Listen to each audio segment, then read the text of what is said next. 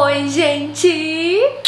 Estamos iniciando mais um vlog aqui no canal. Eu tô amando trazer vlogs por aqui e eu percebi que vocês estão gostando bastante também. É um formato de vídeo que a gente fica mais próxima, né? Vocês conhecem um pouco dos bastidores. Eu mostro pra vocês um pouco mais do meu dia a dia, do meu estilo de vida. Vocês se inspiram, eu acabo dando dicas também no meio dos vlogs. Então é um formato que eu gosto muito de fazer e que vocês estão gostando bastante também, né? Então, sempre me contando aqui nos comentários, tá? Hoje eu vou mostrar pra vocês os bastidores mesmo, assim. Eu vou mostrar pra vocês os equipamentos que eu uso, porque era uma pergunta que, que eu tava recebendo muito, principalmente lá no meu Instagram. Então eu decidi mostrar, daqui a pouco eu vou mostrar pra vocês, câmera que eu tô usando, porque nesse ano de 2020 eu reduzi os meus equipamentos de trabalho, os meus equipamentos de gravação, sem perder a qualidade. Então tá tudo mais prático, tudo mais funcional por aqui, mas com a mesma qualidade de sempre e até melhor, pra falar a verdade. Então eu quero contar pra vocês quais os equipamentos que eu tô usando, de áudio, de câmera, né, iluminação, cenário, tudo. No decorrer do vídeo eu vou mostrar pra vocês, vou dar algumas dicas, né? Então, pra quem é digital influencer, pra quem é criadora de conteúdo, youtuber, vai poder pegar as minhas dicas, mas se você simplesmente me acompanha aqui mesmo, você vai descobrir os bastidores de tudo, tá bom? Como que funciona o meu trabalho por aqui. E vou mostrar pra vocês também outras coisas nesse vlog, tá? Mais tarde vou me demaquilar, eu posso mostrar minha rotina pra vocês, vou fazer um lanchinho daqui a pouco, eu posso mostrar também pra vocês. Hoje é segunda-feira, segundona, já gravei algumas coisas por aqui, já são 4 horas da tarde, gravei muito stories hoje. Então se você não me acompanha no Instagram, você tá perdendo muita coisa, viu? Ó, tô de olho em quem ainda não me acompanha lá no Instagram. É isso, vamos ver por onde a gente começa.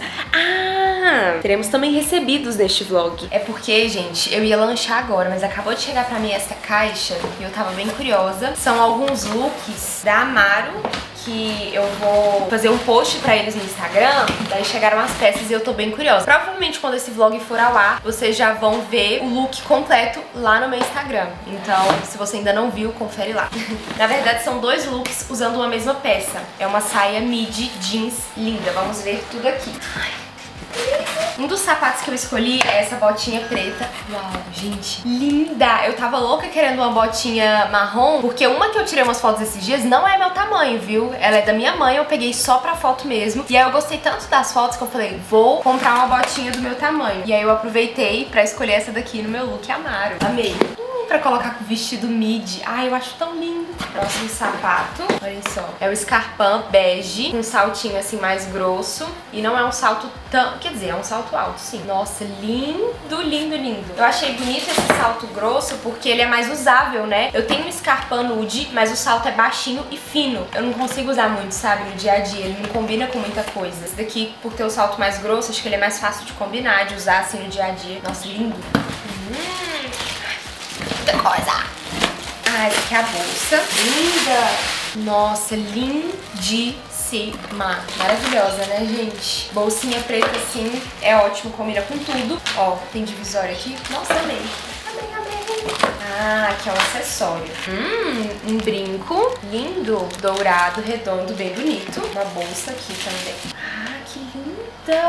Essa bolsa é bem mais bonita do que eu imaginava, viu? Eu escolhi lá pelas fotos do site. Ela tava bonita, mas assim, pessoalmente ela é mais bonita. A cor dela, nossa, linda! Eu quase não amo, né, gente? Esses tons caramelo, outonais. quase não gosto. Ai, esse cinto. Opa! Tá aqui uma realidade. Muita gente não vê aquele momento que a unha postiça cai. Nossa, que cintinho lindo. Super usável. Nossa, vou usar demais cintinho caramelo, mais fininho assim, ó. Aqui redondinho dourado. Nossa, vou usar muito. Vamos pras roupas mesmo, né? Porque aqui foram mais acessórios e sapatos. Blusa canelada verde, manga longa. Olhem só que linda. Ó, bem parecida com essa aqui que eu tô, mas essa aqui é manga curta, essa daqui é uma manga longa e golinha alta. Maravilhosa. Nossa, isso aqui combina com todas as saias que eu tenho. Amei. Ah, que isso mesmo? Ah, blusa. Uau! Blusa preta, mangas bufantes. Gente, a manga dela é bem mais bufante do que eu imaginava. Mas eu acho que eu vou gostar. Ai, tomara que dê certo. Não, mas eu acho que a hora que pôr no corpo vai ficar legal. Porque a manga realmente é um pouco mais bufante do que eu imaginava. Mas eu acho que eu vou gostar. Ela é tipo um tricô. Eu amo blusa de tricô, assim. Tipo, ah, não sei explicar, eu amo blusa assim. Ah, agora sim, né? Finalmente a saia, que é a que vai compor todos esses dois looks. Nossa, linda! Maravilhosa. Linda, gente, amei. Olha só, a barra dela é assim, mais despojada. Tem esses botões na frente, tem dois bolsos grandes aqui, tem bolso grande atrás também. E tem o um lugar pra pôr cinto e vem com o cinto. Olha só que lindo. Mas aí você consegue colocar outro cinto também, que vai ser o que eu vou fazer em um dos looks, ó. Colocar o cintinho marrom. Nossa, gente, amei. Muito linda, né? Super minha cara. Amei esses looks. Tô animada pra provar tudo, pra realmente montar os looks e vocês vão conferir tudo isso lá no meu Instagram.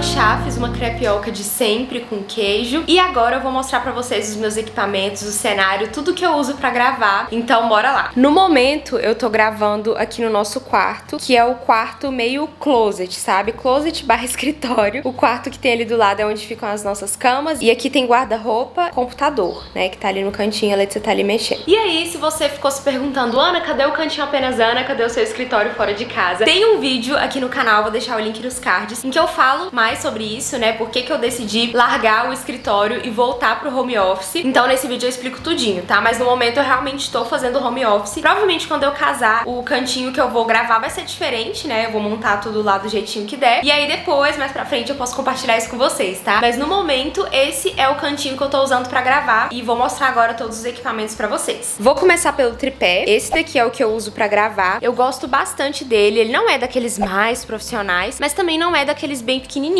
Eu acho ele um tamanho assim ótimo pro que eu faço. Ele me serve bem.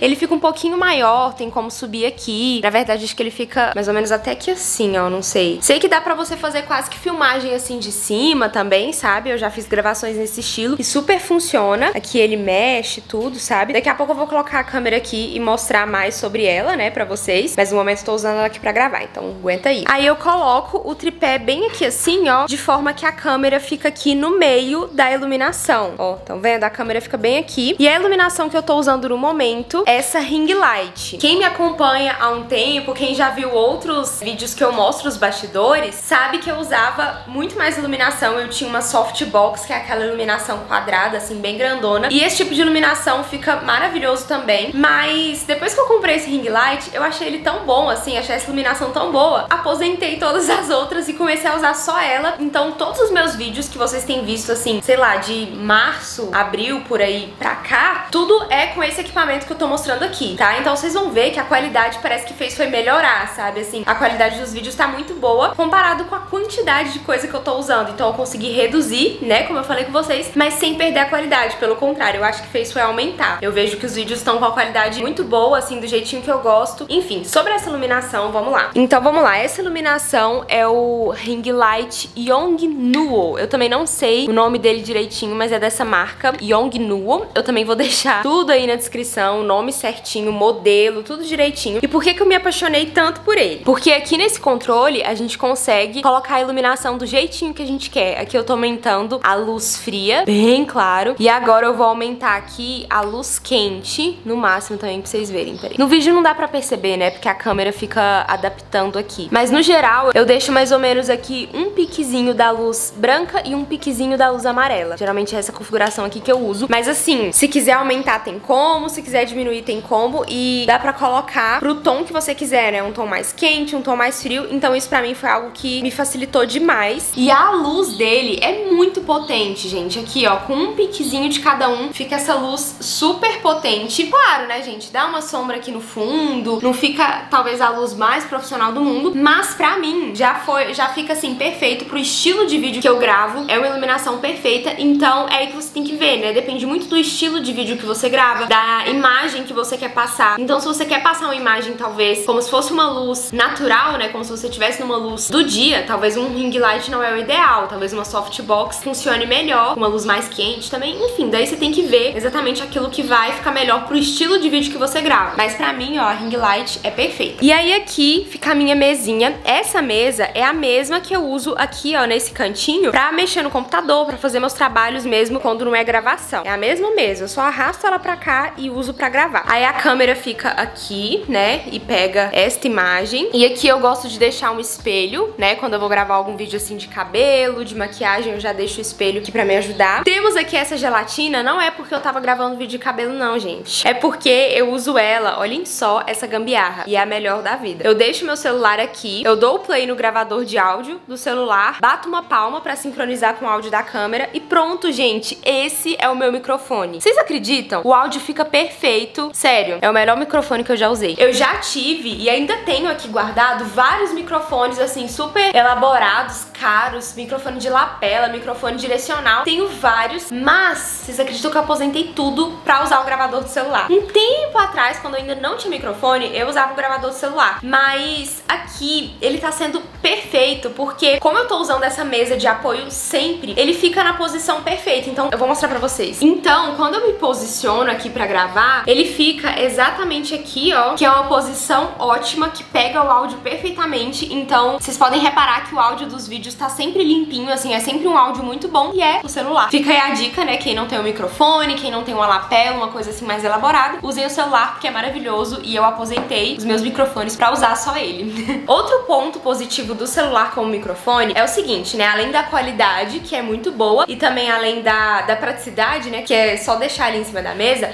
é a questão também de que é menos fácil de dar erro. Vários microfones de lapela você tem que carregar e aí às vezes acontecia de eu estar no meio de uma gravação, o microfone acabava a bateria, aí às vezes não tinha bateria carregada ou não tinha pilha e aí era aquela confusão toda. Ou às vezes também eu tinha uns microfones direcionais que eles bugavam, parava de gravar o áudio e meio que você não consegue perceber. Então no celular eu consigo perceber claramente se der algum problema, se parar de gravar. Então raramente eu tenho esse tipo de problema, sabe, com o celular. Já em outros microfones que eu tinha, sempre dava algum problema. Então, tô amando. Aí, aqui tá o computador, mas né, não é sempre que eu uso ele pra gravar, só quando precisar abrir algum roteiro mesmo, alguma coisa. Esse computador, gente, a capinha dele tá suja, mas enfim, é o MacBook, não é o Pro, não é o Air. Eu tenho, eu já tive o Pro, mas esse daqui, no momento, ele é o MacBook só. Eu acho que ele já saiu de linha. É o MacBook 12, eu não sei quantos gigas, mas enfim, na cor dourado. Eu acho que ele saiu de linha. Ele é uma versão bem fininha, super leve, ele é menorzinho também. E eu não uso ele pra trabalhos muito pesados, é mais só pra responder e-mail, fazer roteiro, coisas assim. E no momento eu não preciso de um computador muito pesado, porque a minha irmã usa o iMac, né, pra fazer as edições, que é um tipo de serviço mais pesado. Então quando eu vou mexer no computador é mais só pra fazer roteiro, responder alguma coisa. Então esse daqui dá conta do serviço. Ele é muito bom e até hoje não travou nem nada. Ah, mas agora que eu lembrei aqui, ele não foi tão barato porque eu comprei o mais rápido, sabe? Então ele, ele tem um sistema aí que é mais ágil e que vai durar por mais tempo. Agora vou mostrar pra vocês esse suporte que eu uso pra colocar os meus tecidos. Gente, isso aqui, ó, é campeão de perguntas. Sempre que eu apareço, né, que mostra isso daqui lá nos meus stories, muita gente pergunta. Eu comprei num site de equipamentos, eu vou deixar também o link aí embaixo, mas basicamente vem, ó, o suporte aqui. É tipo um tripé, deixa eu mostrar aqui de costas, dá pra ver melhor. São dois tripés com outra barra aqui. Na verdade, essa barra é até maior, ela vem, tem mais um outro negócio assim, sabe? É bem grandão. E lá no cantinho eu usava ele grandão, mas aqui pro quarto, como o espaço é menor, eu acabo usando só isso daqui mesmo. E eu vejo que é o ideal, não precisa de mais do que isso. E aí eu comprei separadamente essas garrinhas aqui, ó, essas presilhas. Comprei no mesmo site. Os tecidos eu compro aqui na minha cidade mesmo. Esse tecido é Elanca, ele é daquele que estica então ele não aparenta que tá amarrotado, sabe? Eu guardo ele, gente, de qualquer jeito. Eu não dobro certinho, não passo, sabe? Mas aí, quando você estica, não dá pra ver que tá amarrotado, estão vendo? Aí fica lisinho, perfeito. Eu tenho aqui, ó, nessa caixa, vários tecidos. Eu amo essa cor. Tem esse verde que eu nunca usei, tem o branco, rosinha, esse amarelo aqui que eu uso bastante, esse rosa choque aqui que eu também nunca usei. Enfim. Agora sobre a câmera que eu uso pra gravar, né? Acho que é o mais esperado. Bom, eu tava usando essa câmera aqui, que é a Canon 80D, com a lente 18 a 35 da Sigma. Essa câmera aqui, ó, do jeito que tá, com essa lente, sempre foi, assim, o meu sonho. Nossa, eu, eu tava louca por essa câmera e por essa lente. Foi ano passado que eu ganhei a câmera, daí depois eu comprei a lente. E assim, eu vou colocar alguns vídeos aí pra vocês verem. A qualidade é incrível. Essa lente, ela é uma lente aberta, mas que desfoca bastante o fundo. Então, pra fazer foto também é maravilhosa. A gente aqui gosta muito de usar ela pra tirar foto, eu e minha irmã. Mas aí o que que aconteceu? Ela fica bem pesada e ela pra configurar é um pouco mais difícil. A configuração dela é mais minuciosa, né? Por ser uma câmera, uma lente mais profissional. Mas assim, nada demais, tava usando, beleza e tal. E aí, quando eu voltei pro home office, eu comecei a testar várias formas de gravar, vários jeitos, tudo pra me adaptar, né, ao novo espaço aqui, ao quarto. E aí eu tava querendo deixar tudo da forma mais prática, mas sem perder a qualidade, como eu falei. E aí, quando foi esse ano, ali pra fevereiro, março, por aí, eu comecei a pesquisar sobre a nova Canon G7X. Eu já tinha a Canon G7X Mark II, que é a câmera que eu sempre usei pra gravar vlog. E aí eu vi que a Canon lançou a Mark III, que é essa daqui que você pode comprar o um microfone e embutir ele aqui, ó. Aí eu fui e investi nessa câmera. Quando ela chegou, eu comecei a testar pra gravar vlogs e eu fiquei encantada pela qualidade dela, eu gostei demais. É bem parecida com a outra, né, com a Mark II, mas ela é um pouco melhor, né, e também tem essa questão do microfone que pra mim é o que ganhou, assim, disparado. E aí eu gostei tanto dela que eu comecei a usar pra todos os vídeos, não só pra vlog, e estou fazendo isso até hoje. Então, essa é a câmerazinha que eu uso. Quem vê ela pequenininha assim pensa, nossa, é uma câmera daquelas antigas, não. é a G7X. Ela é uma câmera que parece assim pequenininha, você pensa, nossa, deve ser em conta. Não, ela é uma câmera mais cara, mas que vale muito a pena, ó. O visor dela vira aqui, ó. Então, pra gravar vlog é muito legal, ó. Super prático, você consegue se ver e tal. Ela tem uma qualidade incrível. Também vou deixar umas cenas aí pra vocês verem. Ela desfoca o fundo, não tanto, né? Claro, não chega a, a ser como essa daqui. Mas ela também tem uma qualidade muito legal. E, nossa, pra mim tá sendo perfeito. Eu aprendi a configurar ela de um jeito que fica com a imagem bem bonita. Então, tudo é você pegar o material que você tem e aprender a usar também, sabe? Então, se você tem um celular, por mais simples que seja, aprende a usar da melhor forma, porque senão você vai estar tá com um material ali que você não conhece muito bem, que você não sabe a melhor forma de usar. Isso é uma dica que eu dou muito no meu curso, Instagram de personalidade, inclusive se você ainda não conhece, vou deixar o link aqui embaixo. É um curso maravilhoso, super completo e com um custo-benefício que você não vai encontrar por aí. Eu falo sobre isso, né? A importância de você conhecer o material que você tem pra aproveitar ele da melhor forma, senão você acaba perdendo, né? Então essa é a câmera que eu uso ali no tripé que eu já mostrei pra vocês. Gente, olha isso aqui, eu bati o meu braço no móvel pontudo e olha só, nossa, eu sou muito estabanada, mas enfim. E aí, como ela, você consegue encaixar, né, o microfone, eu comprei esse daqui, que é o microfone Sarabonic. Eu acho que é assim o nome dele. Vou deixar também o link aí. Eu também, ó, eu sou meio estabanada mesmo, gente, porque aqui, ó, nas primeiras semanas dele, eu já tinha estragado ele, ó, aqui. Ele tá com fita isolante, como vocês podem ver, mas tá funcionando normal. E tá sendo esse o equipamento que eu tô usando no momento. Sem câmera grande, sem iluminação grande, sem muita coisa, sem muito cenário. Tô usando só esses tecidos, como vocês podem ver. Os outros vídeos que não são aqui nesse fundo, ou eu gravo lá no quintal, ou é algum vídeo de rotina capilar, daí eu uso outros cenários, né, tipo banheiro, quarto, enfim. Ou é vlog, né, como eu tô fazendo hoje. E tá dando super certo. Lá no cantinho, às vezes eu ficava produzindo vários cenários diferentes. Isso também dava muito trabalho. Então aqui eu tô usando só esses tecidos e eu vejo que vocês estão gostando bastante também. Se vocês tiverem ficado com mais alguma dúvida em relação aos equipamentos, me contem aqui nos comentários que eu vejo se eu consigo responder e esclarecer, beleza? Uma coisa muito importante que eu acho que precisa ser dita é o seguinte, não fique esperando você ter o melhor equipamento do mundo pra começar, tá? Eu tô mostrando aqui pra vocês o meu equipamento realmente pra dar dicas pra quem tava perguntando, pra quem queria saber, pra quem tem curiosidade, enfim. Mas eu não comecei com tudo isso, sabe? Eu tô aqui na internet há oito anos. Quando eu comecei, eu não tinha iluminação, não tinha câmera que girava o visor, então eu fazia um monte de gambiarra. Eu pegava toalha e iluminação de escritório pra fingir que era um, um ring light, sabe? Não tinha tripé, empilhava um monte de coisa. Minha câmera não girava o visor, então eu tinha que colocar espelho atrás. E às vezes eu achava que tava gravando e não tava, porque eu não conseguia ver direito. Enfim, no início, gente, é normal possa não ter tudo e é isso aí mesmo, sabe? Esse é o começo de todo mundo, então não fique esperando você ter tudo pra começar, senão você não vai começar nunca e também você não vai aprender a dar valor nas coisas que forem chegando, sabe? Você vai ficar só esperando ter o melhor equipamento do mundo, não vai ter graça. começa com o que você tem e claro, se você consegue investir, se você pode investir, ótimo, invista. Já começa com qualidade, mas se você não pode, beleza, sabe? Começa com o que você tem, sei lá, o celular que você tiver no momento e só vai, tá? Não fique esperando não.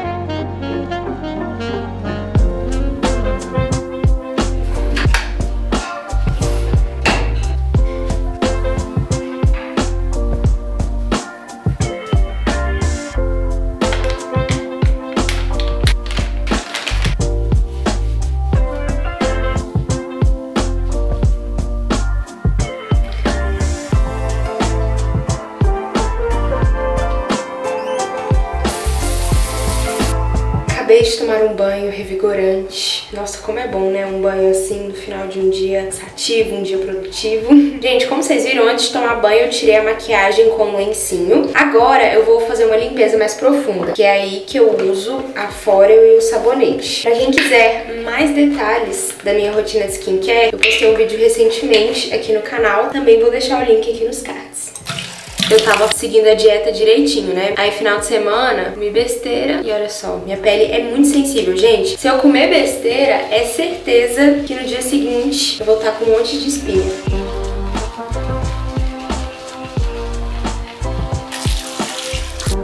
Agora vou aplicar o ácido e a pomada, né, que a minha dermatologista me indicou. Também explico mais sobre isso no vídeo da rotina de skincare. E daqui a pouco, gente, nós vamos comer sushi. Eu e minha irmã, a gente gosta muito de pedir sushi, assim, no meio da semana, sabe? Não que a gente faça isso toda semana, mas às vezes a gente faz isso, assim, de pedir sushi no meio da semana, porque é como se fosse o nosso happy hour, sabe? Vocês gostam de sushi, gente? Vocês são do time que gosta, do time que odeia, do time que ainda não experimentou? Me contem aqui nos comentários. E é isso, skincare feita. Enquanto o sushi ainda não chega, eu vou aproveitar para dar uma descansada, responder vocês lá no Instagram.